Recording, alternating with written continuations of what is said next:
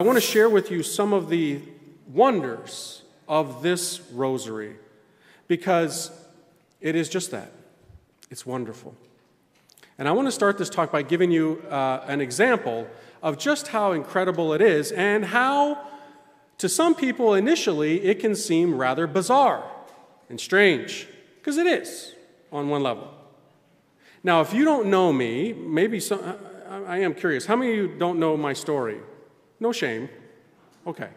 Shame on you. No, just kidding. Suckers? No.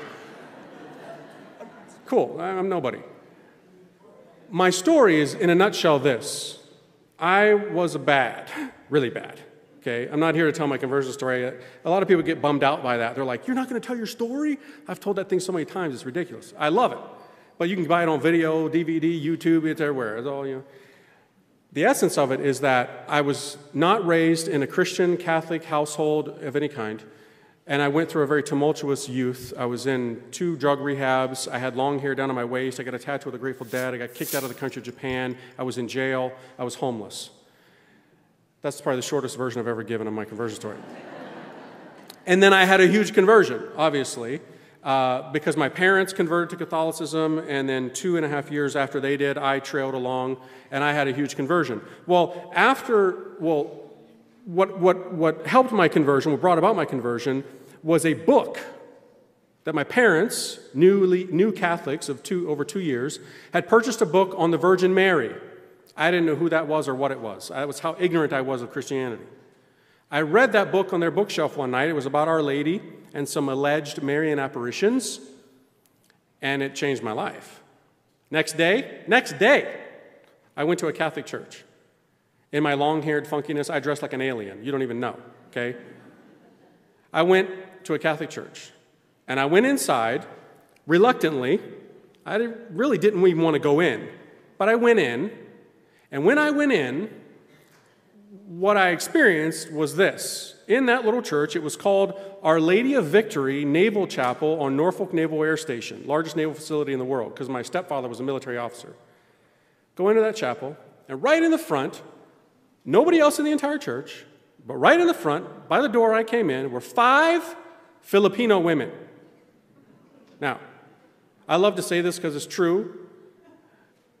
You don't mess with Catholic Filipino women okay? They are special forces in the spiritual life. They are green berets. They will take you down, okay? They mean business, you know, they do. In a certain sense, we wouldn't even be here tonight without them because, you know, Our Lady of Peña Francia, the whole Filipino connection thing, you know, they're responsible for so much. So I walk into this church because my, my mother had become a Catholic by one Filipino woman. This woman helped my mom talk to a priest. My mom brought my dad. They became Catholic. I go into this church, and there's five Filipino women sitting there, and I freaked out because I know what these people are capable of. they, they make people Catholic. I didn't, I was, you know, I go back to the church, and all of a sudden, these Filipino women start some kind of seance. So it looked like to me. One of them goes up and fires up candles on some altar looking thing. And there's a boat hanging from the ceiling because it's in the naval chapel. And she goes back to her place and she goes into her purse. And like often happens, and you know what I mean if you know Filipinos, there's always a self appointed, self appointed matriarch who tells everybody else what to do. You know, I, guess I love Filipinos. Had I not become a priest, I'd have married a Filipina. I'd be living in Surigao surfing my brains out. But that, that's not God's plan. Okay? I love Filipinos. But there's always a matriarch who tells everybody else what to do. You got to do, got to do, got to do, and you better do it, right? so this one woman goes into her purse, and I'm, I'm in the back, and all the way in the back, and she pulls out this thing, like a necklace looking thing. And she starts doing some incantation to the boat, the mystical ship hanging from the ceiling that she fired up candles underneath. I don't know, this is my first time in a Catholic church. I'm clueless. And she's all I can hear is this. Okay, now I'm not making fun of Filipinos. I love Filipinos. Salamat po to you forever, okay? For everything you've ever done. I love you to death. I love you. Not making fun of you. But to a white boy, when he hears a Filipino speak, it sounds a little funny. So all I heard was this Filipino woman leading her four sisters in this. Hail Mary,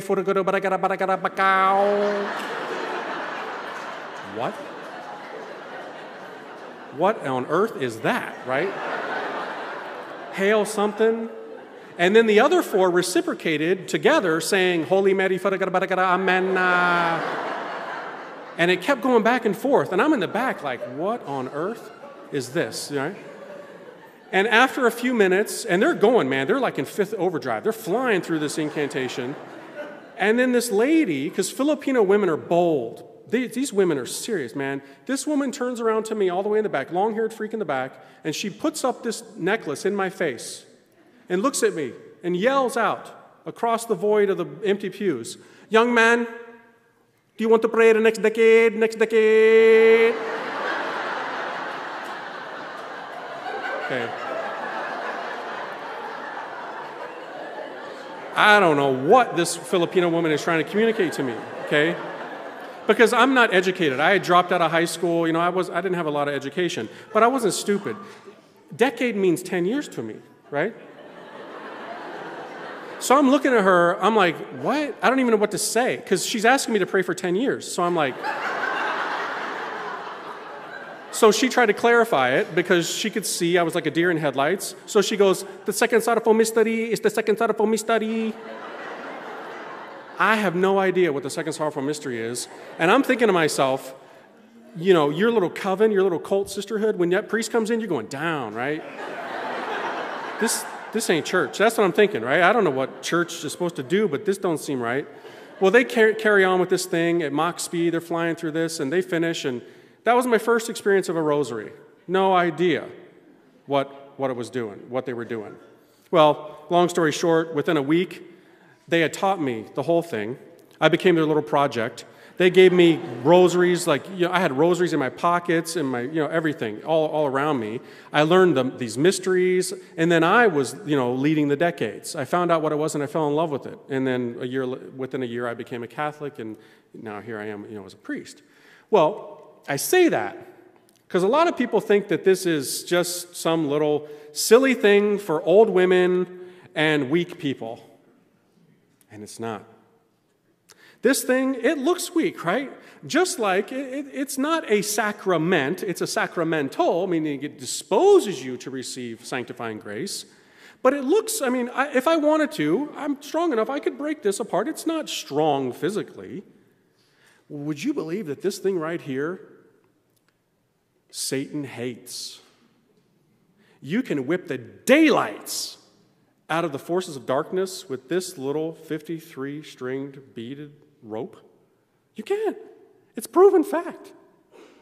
I just ended yesterday, actually, a what's called the Irresistible Novena, a 54 day rosary novena to Our Lady for my book begging her to kiss it. I want Our Lady to kiss the book.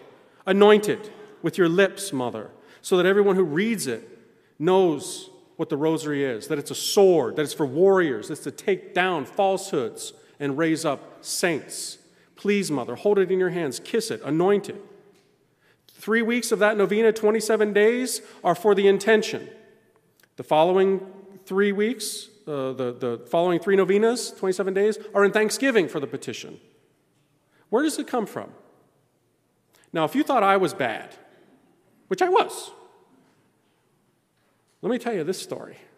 How many of you have heard of a guy named Blessed, yes, Blessed, Bartolo Longo? How many of you have heard of him? A few here and there, not many. Let me tell you about this guy, okay? There was a guy in Italy in, at the end of the 19th century, beginning of the 20th century, who was raised a Catholic. He grew up in Italy, right? Duh.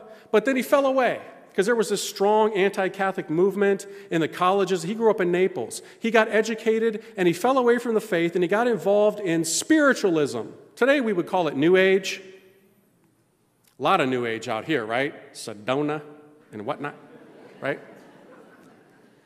He was a New Ager he was, he was into, you know, if we could make analogies, hand, palm reading and doing tarot cards and looking at the stars, trying to find meaning, you know. He thought he was super intelligent, and he was on some level. And he was searching, but he got wrapped up in spiritualism and he started going to seances and participating in occult practices. And you know what happened? He got ordained a satanic priest.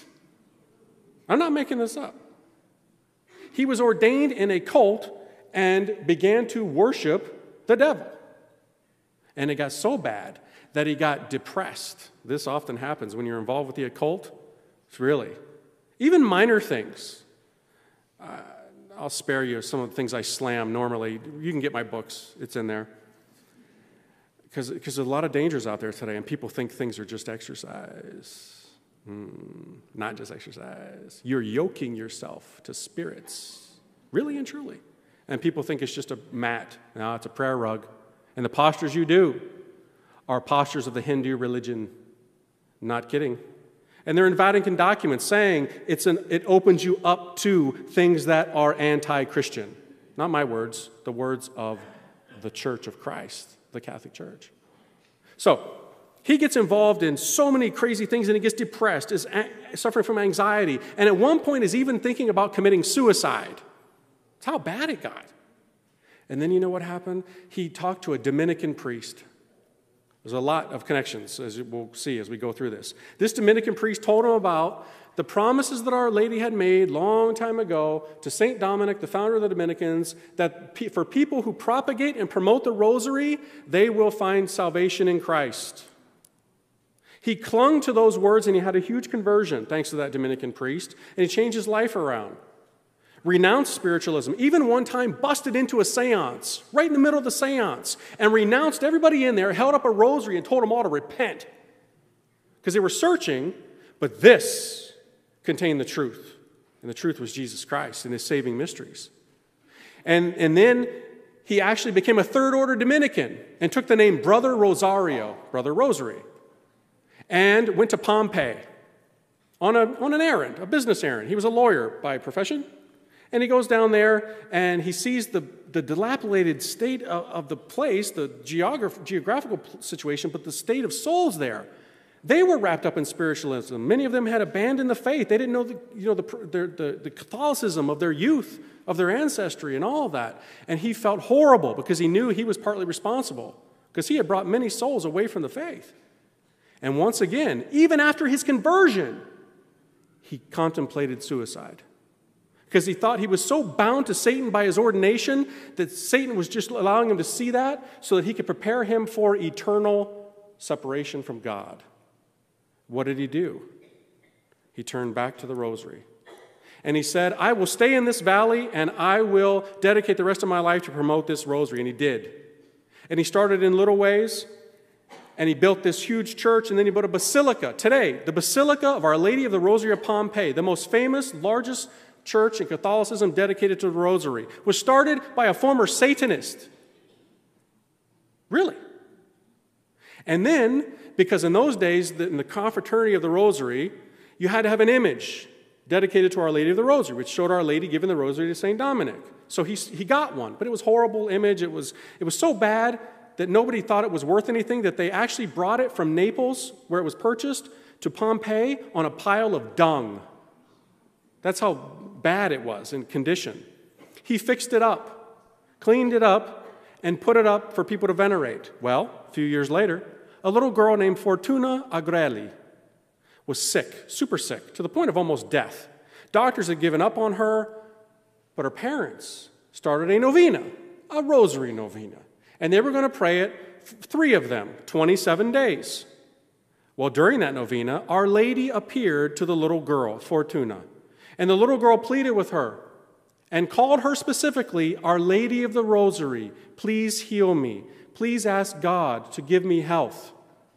And Our Lady said that He would through her intercession, and that our, she was very pleased that she had used that title, Our Lady of the Rosary. And she said to little Fortuna, When you're done making the, the three novenas for your intention, make three more in Thanksgiving, 54 day novena, called the Irresistible Novena.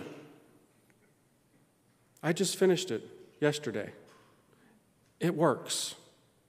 One of my intentions was to get the, an endorsement for my book that I haven't even fully written yet, although I have it in manuscript. I'm just cleaning it all up and everything. It, it, it's a project. I sent it to a bishop, uh, who I'm probably some of you may have heard now, in Nigeria, who last year had a vision of Jesus. Go on YouTube tonight and read about this, it'll blow your mind.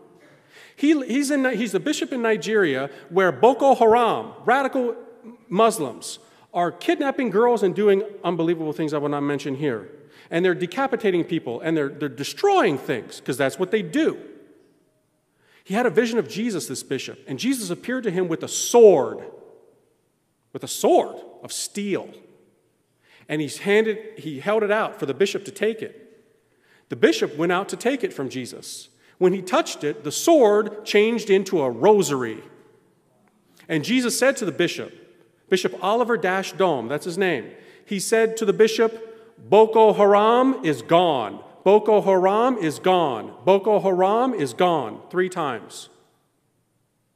I sent the manuscript to the bishop as part of my intention because I want that bishop to endorse my book because I talk about the rosary as a spiritual sword. Guess what happened? He endorsed it already. I don't know this dude, right? I haven't even finished the book yet. And he's already endorsed it. I put a lot of other intentions in there as well for conversion of my family members, for healings, for different things. I trust that Our Lady, in her time and in, in God's time, will answer those prayers according to what they see best. These are amazing things that so many people don't know about today. I only heard about Blessed Bartolo Longo.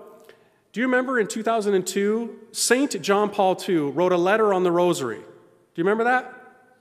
and he gave us the luminous mysteries, which basically turned the, the rosary not just into a sword, but a modern lightsaber, updating it for the times that we live in, right? Luminous mysteries, lightsaber. He gives us these mysteries, and in that document, he kept mentioning this dude named Blessed Bartolo Longo. I'm like, I never heard of this dude. I know saints. I mean, I love the saints, but I'm like, who is this guy? So I looked him up and I found out the dude was a former satanic priest. And I thought I was bad. I never did anything like that. Holy smokes, right? That shows you the power that this rosary has because it does have power. Where does this come from? And why does it even exist? Well, for over 800 years now, it's been basically in the hands of every saint. I pretty much guarantee you that any saint since the year 1208 has prayed this. I pretty much guarantee it. What was happening in the year in the 13th century that this was given to us? Well, in Europe, in France in particular, there was a heresy that was spreading like crazy. It was called Albigensianism. And it basically said that uh, Jesus is not God, that he's not, you know, special, that the flesh is bad. So why would God become flesh when the flesh is corrupt? That doesn't make any sense. And therefore they denied the incarnation, that God became man, things like the Eucharist, his passion, that he would suffer, that God would suffer for us in the flesh.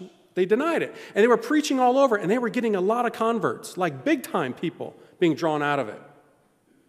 He was a huge threat. But there was one man who was a regular diocesan priest. He followed actually a thing called an Augustinian order, but that's another thing, Augustinian rule. He was preaching and he was trying so hard. He was zealous, he was on fire, and he was preaching everywhere and he walked around, but he wasn't having a lot of fruit. And he was kind of getting bummed out. And he went to a forest in France and he prayed for three days, begging heaven for an answer, for help from on high to help him. And Our Lady came and she gave him this as a spiritual sword. Those were medieval times. Those were times of chivalry and knights. Actually, in those days, founders of religious communities, like this one called the Mercedarians, they had a beautiful white habit, similar to the Dominicans. Do you know what it was part of their habit? A sword. Literally, a sword. These were days of men. Oh, we've come a long way from those days, really and truly. He was given this by Our Lady not to be a physical sword, but to be a spiritual sword and to take this into spiritual combat. And she said that it would be a battering, battering ram against heresy. And it, by preaching on the mysteries, would draw souls back to the truth of Christ if he showered them with the angelic salutation Hail, full of grace, the Lord is with you. These are not man made words. And if he said the Our Father, these words weren't are invented by you and me. These are the words that came from the lips of the God man, the Messiah, Jesus Christ. Spiritual power, when you combine them, when you put them around one simple thing and meditate on the mysteries of the life of Christ, it has power. Do you know he went out and started preaching and did so much good that became the greatest preacher of his time? He formed a community called the Order of Preachers. And they went to the ends of the earth and began to spread this. But you know what happened? Satan got in the mix. Satan can't have a weapon like this. So he tried. Oh, he tried so hard to destroy it, to get people to stop praying it. And on some level, it worked. Less than one century after the life of St. Dominic, this was almost forgotten. It was. Documents were burned. Why? Well, do you know what happened in the, in the 14th century? The Black Death, the Black Plague. One fourth of all Europe died. Not making this up, Google it. One fourth of Europe, that's just Europe. Parts unknown yet, undiscovered at that time, also suffered from this. But we don't know the numbers. One fourth of the population of Europe died. And as people were trying to save their lives, they were burning lots of things, places that were contaminated. So many books were burned. That would have been about this. Satan doesn't want any evidence of the weapon. I'll give you an example. In modern times, St. Faustina, when she received the revelations of our Lord, hopefully you know who she is, uh, from our Lord about divine mercy. And our Lord said to her, basically, write it in a diary. You know what happened? A lot of people don't know this. Satan tricked her, appearing as an angel of light, and said to her, Burn it. You know what she did? Thinking she was being obedient to an angel of light, she burned it. She burned her diary. What was in that diary? The message of divine mercy. Satan's going to hate that message. A new form of prayer on ordinary rosary beads. She burned it. Then our Lord appeared to her and said, My daughter, that wasn't me. That wasn't an angel of light. You were tricked. Start writing again. And she did. Satan will try to destroy what he himself can't have. And sometimes, sadly, he has great success in this. He did for like 150 years. And then you know what happened? Amazing things happened. Our Lord, our God, provided a place where this would be held for a while. In the 14th century, England became known as the Dowry of Mary. In England, it was offshore, it wasn't on mainland Europe. It had its own plague stuff going on, but they didn't abandon this. Right after the death of St. Dominic in 1221, the Dominicans, his, his friars, went to England and they brought this with them. And this flourished in parishes. They would leave these in baskets at the front of a church so that people, if they didn't possess their own, could pick one up and use it. These things are recorded in documents. They would have it so that in colleges, the, the students were required to pray it. Even in some, the president himself was required to pray it every day. It was held offshore for safekeeping until the Black Death was over. And then it would come back to mainland Europe in an amazing way. At the beginning of the 15th century, there was a movement among groups to reform, to become more zealous because they become lax during the Black Death. They were more concerned about saving their lives, obviously, and they become kind of mediocre and lukewarm in, the, in their living out of their commitments. The Franciscans, the Dominicans, and a whole bunch of others. This is called the Observant Reform Movement. And during that time, there were certain other groups that were even given different forms of a rosary. How many of you have heard, heard about the Bridget, Bridgetine rosary from St. Bridget of Sweden? How many have heard about that one? Or the Seven Sorrows of Mary rosary. Probably you heard about that from Kibeho, right? Others, founders were given different forms of rosary. There was even Carthusians who were kind of coming up with a really contemplative version. Well, Where would be a really good place if you're going to make that leap back from England to reintroduce people to the ancient rosary, the first rosary? Where would be a really good place to do it? The country closest to England, right on the shore. Well, there was a Dominican house there, and there was a guy named Blessed Alan de la Roche, who was a part of the observant reform movement. Our Lord, Our Lady, and even St. Dominic began to appear to him and said, Start, re- renew it teach people about the rosary, renew the confraternity of the rosary. And he did. And he started it up again. And it spread like wildfire, it spread everywhere. And it, I mean, it was going everywhere. Then guess what happened? Satan, aware of what's going on, not liking it. Do you know what would happen in the 16th century? You'd have people, fallen away Catholic priests one named Martin Luther, a fallen away Catholic priest. Yep, I hope you know this stuff. The dude was so, had so many crazy ideas that he started attacking the church, said purgatory isn't real, sacraments, most of them are that's nonsense, and he especially went after this. He hated it. There's a book that exists to this day in Germany that has his writings in the margins of a confraternity book on the rosary, and he slams it. What is this nonsense? Why would you pray this? Why would he not like this? Because to him it was a work. They didn't like works. To him, the, the indulgences that were given by the church, he didn't like indulgences. He didn't believe in them. Purgatory. Why pray for something that doesn't exist? If you're praying the rosary to help souls in purgatory, that's nonsense, he said in the margin of that book. And he got a whole ton of people to go against it. Tons and tons. Then you know what happened? Something else. 16th century was a battle century. After the Protestant rebellion, guess who else started to attack the church in a huge way? They've been attacking it since they came into existence. Islam. Mm-hmm, just like today. Ain't nothing new. We think this is new? Mm, this is a centuries old story here, my friends.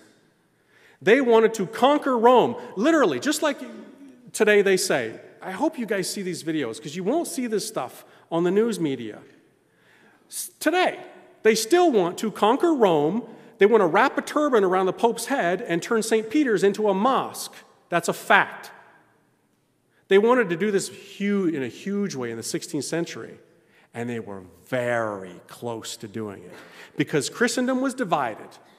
Many people were leaving the Catholic Church, and there was division amongst Christians.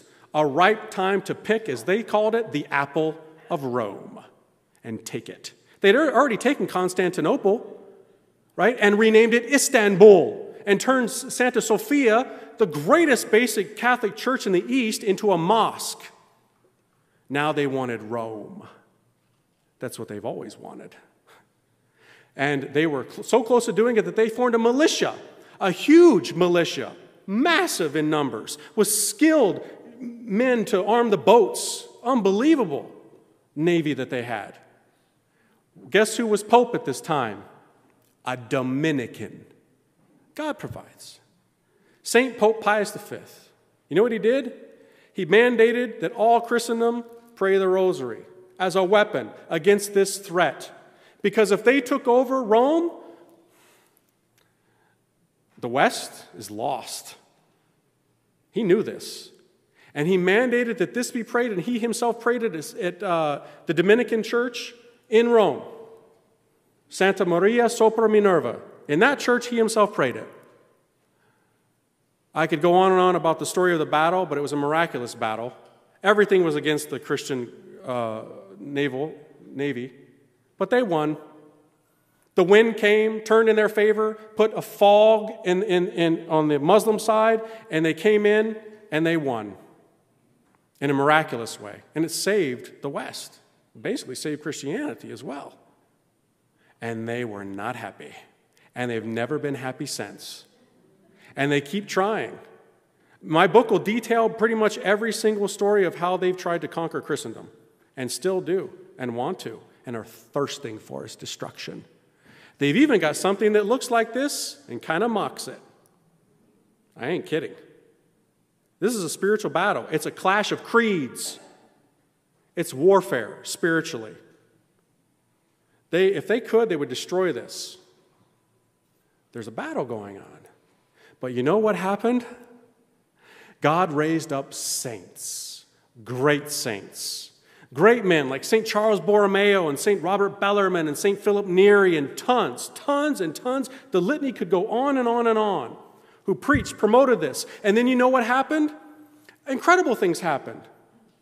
Our Lady goes to Mexico to a little dude named Juan Diego, converts 10 million people in like eight years. Dominicans arrive. They set up confraternities of the Rosary. The great Catholic missions begin around the world in the 16th century. And what happens? Every single missionary, from St. Francis Xavier, you name it, took this with them everywhere they went. When they went to the Philippines, what happened? Our Lady of Naval, Our Lady of the Rosary of Naval went there. No matter what country people, the missionaries went to, they brought this. There's even stories, and I'm not making this up of a woman named Venerable Mary of Agreda, a nun in Spain during this time, who was able to bilocate. Oh, I don't know if you know what that is. That means you can be in multiple places at one time. The saints can do this. St. Padre Pio and a whole bunch of other ones. St. Faustina, tons of them could do this. She was a nun in Spain.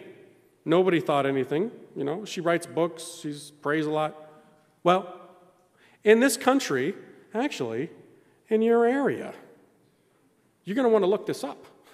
Before this was all mapped out and, out, and this was Arizona, and this was the United States, and whatnot, there was a tribe of Indians that were kind of in this area, more in New Mexico and, and West Texas, what we call that now, of called Jumano Indians. Guess what was happening to this tribe?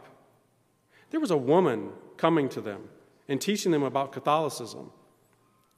And she was telling them, this is what the Eucharist is, this is who the Virgin Mary is. There's going to be Catholic priests who are going to come soon, and they're going to tell you everything I've been telling you, and they're going to give you the sacraments. Guess what happened? Franciscan and then Jesuit missionaries came to that area and came upon a tribe in the middle of nowhere of Indians who knew Catholicism. How in the world? And the tribe said to these missionaries, Yes, the woman in blue has been coming to us for years and telling us that you would come. And she told us, and you know what they already had in their hands? Rosaries. Because she, when she was bilocating in her convent in Spain, she had piles of them not being used. She took them with her and gave them to the Indians. The missionaries thought that these Indians were talking, they had a, a vision of the Virgin Mary, a woman dressed in blue. But the Indian said, No, we know who the Virgin Mary is. She told us about her, but it wasn't her. It was somebody else, but we don't know who she, she was. Well, in those days, the, the missionaries kept great logs, and some of these missionaries were actually from Spain. So it didn't take very long for them to discover that it was this nun who was reported to be a mystic who was writing a big fat volume about the life of the Blessed Virgin Mary, who was bilocating to this tribe. Look this up. It's a fact. It was even in secular things of the time. Not the Catholic Church making this up. It's true. God wants this everywhere because it has power to change people. You know something interesting? In that battle I was talk, telling you about against uh, Islam called the Battle of Lepanto, it was near Greece. Do you know what was on one of those ships? An image of Our Lady of Guadalupe. A lot of people don't know that. When Our Lady appeared to Juan Diego in the 1530s, the bishop was so in awe of what happened, he immediately had four copies made and sent to various dignitaries and so forth. One of them was sent to Spain. In Spain, the, the, the president gave it to one of the captains, Doria was his name, on one of these ships, and he brought it to the Battle of Lepanto. Our Lady of Guadalupe was at the Battle of Lepanto that conquered the Muslims. Wow.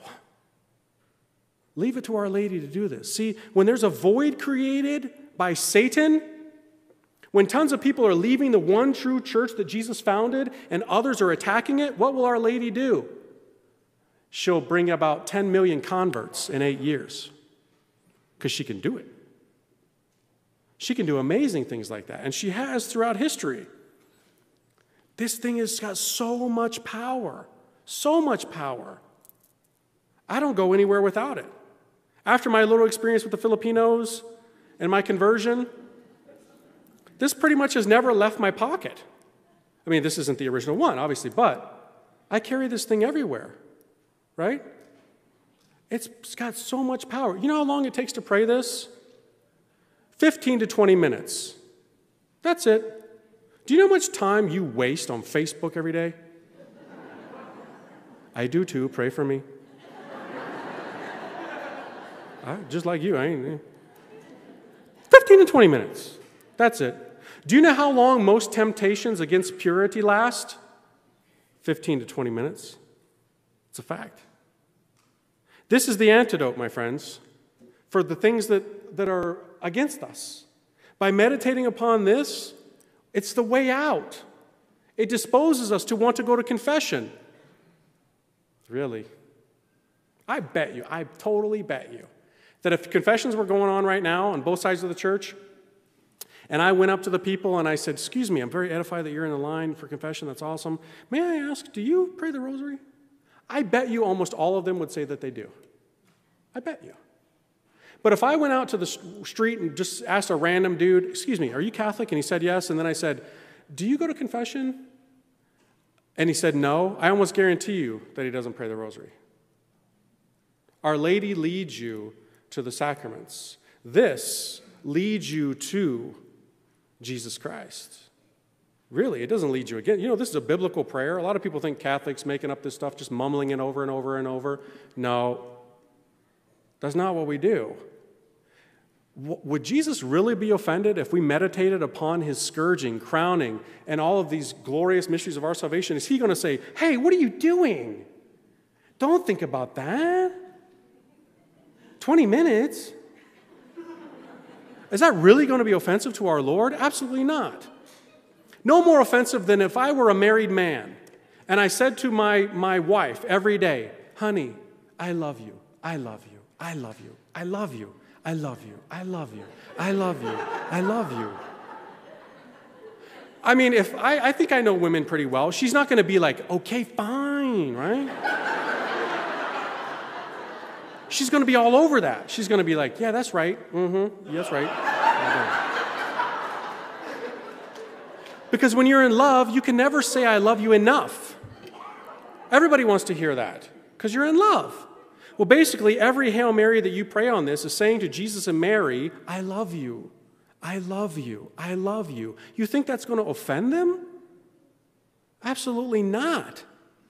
The more you say it, the better, as a matter of fact. This is the secret. This is the secret. You know, continuing on with our little history lesson here, after the great missionaries spread it to the whole world, guess what happened? Probably the greatest Marian saint of all time, St. Louis de Montfort, starts cranking out books. True Devotion, phenomenal, read it, best book about Mary ever, period. Nothing compares. And he also wrote another one called The Secret of the Rosary. But you know what happened? that evil one got agents to put him in a chest and bury it for 150 years. Nobody knew about the masterpiece, the greatest book ever written on the rosary, was buried in a field in France for over 150 years. Satan didn't want you to know. Then you know what happened?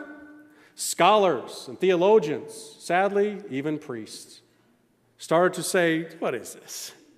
This, this we don't need this stuff. This little devotionals and all this stuff. We've, we've got methods now that show that St. Dominic didn't found that. This thing called historical criticism, same thing that basically destroyed people's understanding of the scriptures. Jesus didn't walk on water. You know, when he, when he multiplied the bread, that was the miracle. You know, the miracle was they shared. Historical criticism basically said this is a man made thing, not of divine origin, existed before St. Dominic. Blessed Alan de la Roche was basically a, a, a lunatic. Seriously. Priests said this. Well known priest in Catholic encyclopedias and such. It's true. And you know what happened? in the 1960s and 70s, I was only born in 1972, so I was just coming on the scene, but many of you were around and you know this basically began to disappear from parishes, even from seminaries. This was banned from many seminary chapels during the 1960s and 70s. That's a fact. Tell me that ain't from Satan. But you know what happened? Once again, Jesus and Mary raised up heroes martyrs that would lay down their life for this. Great people started coming on the scene. How many of you have ever heard of the Legion of Mary? The servant of God, Frank Duff, this dude, an Irishman who spread this thing. The Legion of Mary is the largest Marian group in the entire world. He's done this in the early 20th century because God knew what was going to happen and the destruction that would come. St. Maximilian Kolbe, everywhere he went, St. Padre Pio almost never left his hand. St. Faustina, we were given a whole new form of devotion on this. So it wasn't just a weapon of truth anymore, but now it would be an instrument of mercy. When Jesus gave the revelations to Faustina about the chaplet, it wasn't, he didn't ask for a new set of beads with maybe seven or somebody, same amount on this. Now we basically have got spiritual nunchucks, you know? the one two punch in the spiritual life with the rosary, 20 minutes. This, the chaplet, how long does a chaplet take to pray? Five to seven minutes. It's like, it's like the rosary on training wheels. Five to seven minutes. Packing a punch. Other great saints came upon the scene. How many of you have heard of Venerable Father Patrick Peyton? Nobody compared to Patrick Peyton in the promotion of the rosary. This guy was able to go around the world and in places, especially the Philippines, able to gather literally tens of millions of people and pray the rosary in streets. Because in the United States, where he lived, although he was born in Ireland, but he lived in the United States, people have basically abandoned it, said it was useless and pointless. So he went to Brazil and the Philippines, and they listened. And miracles happened. Many miracles. Ask a Filipino about the Marcos regime and how they were able to pray this in front of tanks, loaded tanks. Not one bullet was fired. And the, and the, and the guards, the policemen there in the Philippine army, later told Cardinal Sin, I know that's a funny name, but his name was Cardinal Sin. Whenever people went to his house, he said, Welcome to the house of sin. he did. He was funny. So the guards said that before they were going to basically plow over the people with their tanks, they saw a woman who said, Stop, these are my people. Ask any Filipino about their devotion to this. I've been all around the world. Trust me, there ain't basically no culture like the Filipino people who praise this thing right here, my friends. Oh my goodness. You know what the Filipinos are now? They're the new Irish. Really? Back in the old days, the Irish missionaries went to the whole world. Every parish had an Irish Father O'Shannon or Father O'Connell or whatever, right? Now, you got Filipino priests because Filipinos move in flocks, in family units. Wherever there's one Filipino, there's a hundred more coming. Grandma, grandpa, auntie, auntie, sister, brother, they're all going to be living in that house. You know, and wherever they go, they bring this. They bring novenas to our, our Lady of, you know, Peña Francia, Our Lady of Antipolo, everything, you name it, right? Some novena praying people. This thing has power, and God wants you to know about this. I guarantee you that if I asked you right now, how many of you got a, don't raise your hand or you'll really embarrass yourself. How many of you got a messed up marriage, got funky kids, got delinquent kids who are shacked up with their significant other in Sedona or San Francisco or Key West. I'll bet you you do. Or you know somebody who is. Really? How many of you recently had, you know, you went on your Facebook and it was just rainbows? Oh, rainbows, just rainbows, right? How many of you put a rainbow on yours? Yeah, no way is right. Because we're in a spiritual war right now. And it's serious. And it's going to get a lot more serious. A lot more serious. In the last century, you know, there were more reported Marian apparitions than any other time in the history of the church. Many of these are approved. There's many that are not. Many are still under investigation by Vatican commissions and local bishops and whatnot. But many of them are approved. Many. I'm going to put on my glasses and read to you a few of them, and you know all of them are rosary related. And in some of them, Our Lady is very serious. And these are approved by the church. What are some of them? Well, we've got obviously Fatima, right? 1917. We're coming up on the 100th anniversary of that one. Beauraing, Belgium, 1932 to 1933, approved. Rosary, Mary came with it in her hand. Banneux, Belgium, 1933, same thing. She came with the rosary in her hand. St. Faustina, we know that one. There's one right now that's controversial that may end up being approved this September. Lipa, Philippines, we'll see. Very interesting stuff there. Akita, Japan, 1973. Wow. Read those messages. Our Lady basically says that unless mankind repents, we're going to be wiped out. There's only going to be two things left a sign and the rosary. You know what she says in there? Cardinals will be against cardinals, bishops against bishops, and there will be great confusion. Do we not see this today? Are we living on the moon? We're seeing this played out in the media bishops against bishops. Chaos. That was 1973, and that's approved. Cuapa, Nicaragua, where Our Lady even gave a history of the rosary to confound the critics and the skeptics. You don't think it was founded by St. Dominic? Go read the approved apparitions in Nicaragua, where she gave the visionary Bernard, who became a priest, a vision of men in white, Dominicans, praying the rosary. And she says that from the Dominicans, it was given to the Franciscans, and then it was given to everybody else. Mm hmm. That's what I thought. Kibeho, Rwanda, right? Uh, you remember this one? This was one of the most prophetic. Sadly, the people didn't listen. The two tribes, the, the Tutsis and the Hutsis, or whatever they were, I, I forget their names, right? The two tribes there, they, they, one tribe basically massacred the other with machetes, and over a million people died because they didn't listen to Our Lady. That's approved. Our Lady, even, her heart was so hurting from this, she gave them what's called the Seven Sorrows Rosary. They thought it was brand new because nobody knew about it, because Satan tried to basically bury it. It had been founded by the seven holy founders of the Order of Servites in the 13th century, same era as St. Dominic. She wanted to bring it back to life because the people needed it, but they didn't listen. And over a million people died by machete she said, Unless you listen to me, there will be rivers of blood. They didn't listen, there were rivers of blood. San, Nic- San Nicolas, Argentina, from 1983 to 1990. Actually, I believe the visionary is still living. Approved, Our Lady of the Rosary, and countless others. There are so many still happening right now. We, remember the bishop I said just last year had a, had a vision of this? This is a bishop.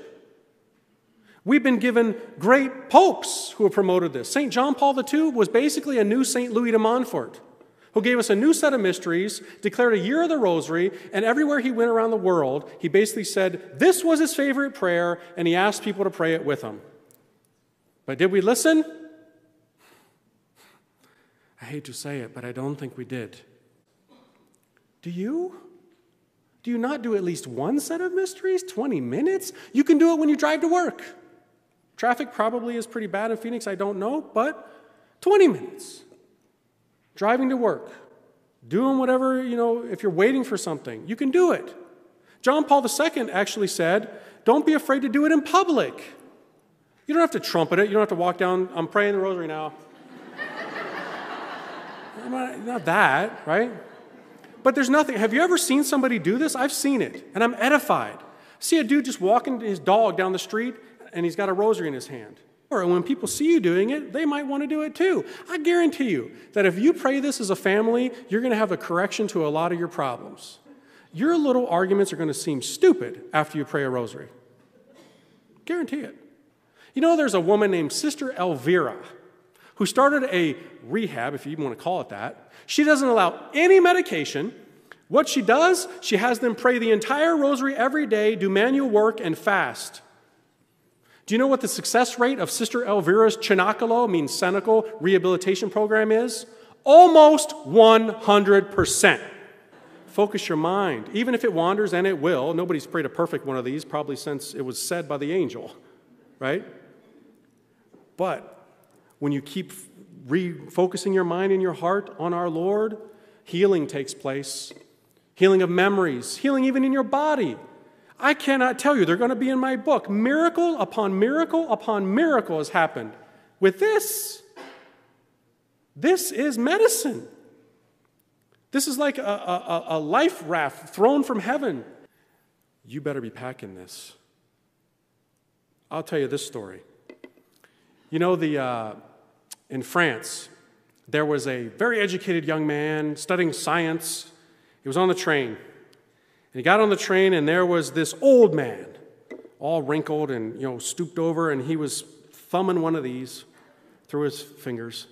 And the young science student said to him, you know, what, old man, what are you doing? I mean, that stuff is not, that's, that's, that's fairy tale. We, science, you know, is now, you know, proven things, and we, we don't need these little crutches and so forth. And the old man, in his humility, said, Really, I, I, I'm, I don't know what kind of science you're talking about. Please tell me. I'm interested to learn. So this young you know, college student schooled this old man and told him about you know all these things he was learning and you know how the catholic church was you know the great oppressor of, of, of, of reason and people using their brains and so forth so at the end of the trip when the old man was about to get off at his station the young man said look if you want to learn more i'll tell you. Give me your name and contact information and i'll, I'll, I'll, give you more information about science. The old man went into his jacket and pulled out his card and he gave it to the young man. And on the card it said, Louis Pasteur, the head scientist in France, who basically discovered so many modern vaccines. The reason you don't basically have things like maybe polio, and the reason you can basically drink milk today without getting some kind of disease or bacteria or so forth, is because of him. He wasn't stupid, he wanted to be a saint.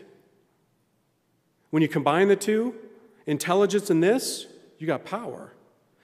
Now is the time for us to take up this weapon of war. Let me read you this quote, one of the more famous quotes that Our Lady said to St. Dominic when she gave it to him. She said, in 1208, You, St. Dominic, are to preach this devotion as a practice of piety most dear to my son and to me, as a most powerful means of dissipating heresy extinguishing vice, spreading virtue, imploring the divine mercy, and obtaining my protection. I desire that this manner of prayer shall be perpetually promoted and practiced. The faithful shall obtain by it numerous benefits, and shall always find me ready to aid them in all their wants. This is the precious gift which, through you, I bequeath to the world.